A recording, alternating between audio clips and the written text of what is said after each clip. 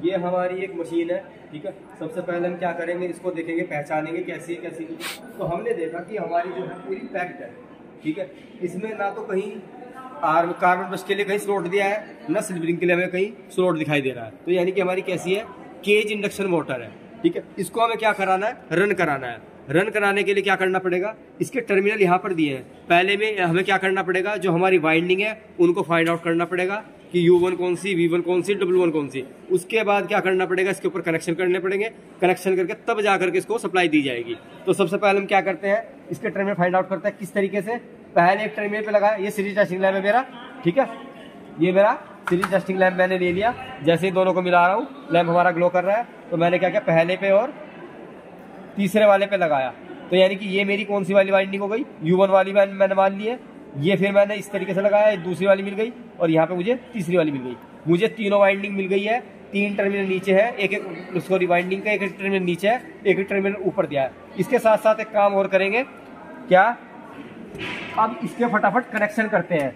तो कनेक्शन करने के लिए देखिए, एक साइड मैं इसको फ़िलहाल स्टार में चलाऊँगा। तो स्टार में चलाने के लिए मुझे क्या करना पड़ेगा? एक एक साइड की, चाहे ऊपर वाली, चाहे नीचे वाली, कोई सी ना कोई सी स्लॉट करनी पड़ेगी। तो मैंने क्या किया? ऊपर वाले जो टर्मिनल थे ये मैंने एक वायर ले ली कॉपर वायर ठीक है? इससे मैंने क्या किया, इसको शॉर्ट कर दिया। ठीक है? यहाँ से मैंने इसको क्या कर दिया? शॉर्ट कर दिया। देखो, जब तक टर्मिनल फाइंड आउट नहीं करोगे वाइंडिंग के, तब तक आप मशीन नहीं चला सकते हो।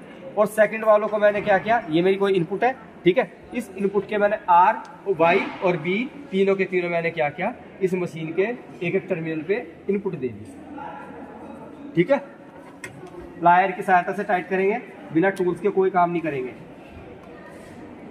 ये मैंने क्या किया? आर फ़ेज़ लगा दिया। ये मैंने वाई फ़ेज़ लगा दिया।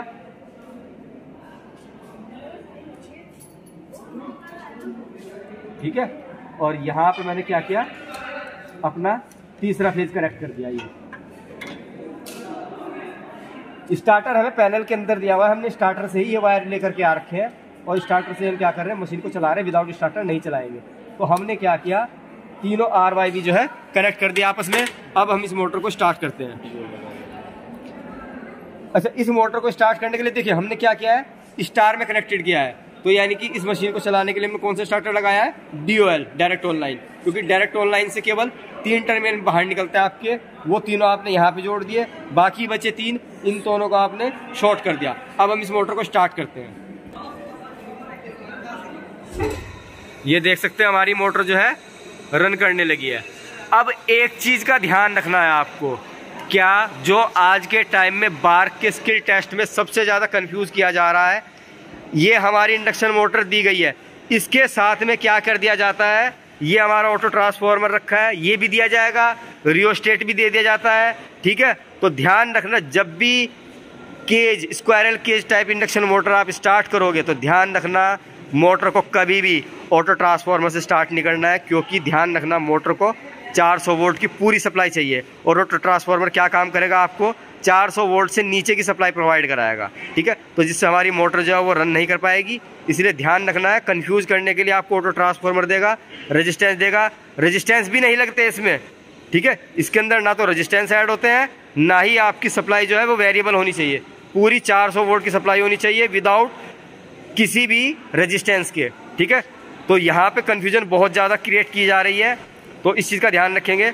उम्मीद करता हूँ आपको ये जो थ्री फ़ेज़ इंडक्शन मोटर है, इसके स्क्वायर के टाइप वाली ये आपको चलानी आ गई होगी।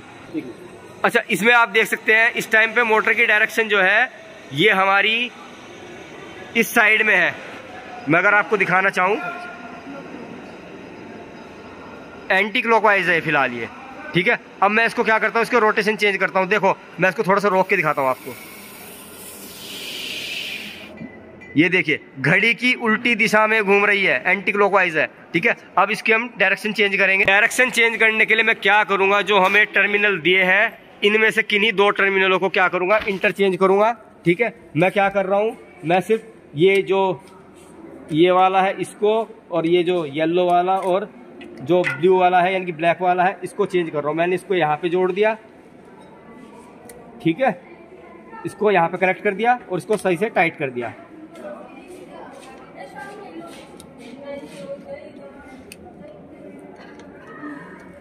ठीक है? और इस वाले को मैंने यहाँ पे कनेक्ट कर दिया।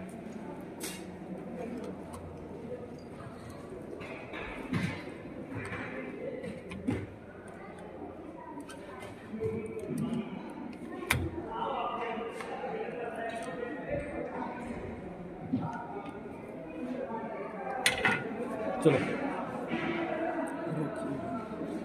यहाँ पे जो हमारे कनेक्शन है वो कंप्लीट हो चुके हैं। अब हम क्या कर रहे हैं? मोटर को रन करा रहे हैं दोबारा से।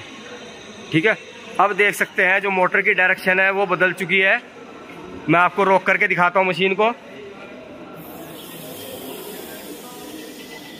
अब जो मोटर की डायरेक्शन है, वो देख सकते हैं आप क्लॉकवाइज हो चुकी है। ठीक है? इस तरीके से क्या करते हो आप? जो केज इंडक्शन मोटर है, उसके रोटेशन को इस तरीके से चेंज कर सकते हो और मोटर को इसके, इस तरीके से स्टार्ट करते हो। ध्यान रखना ड्यूएल का इस्तेमाल ही करेंगे।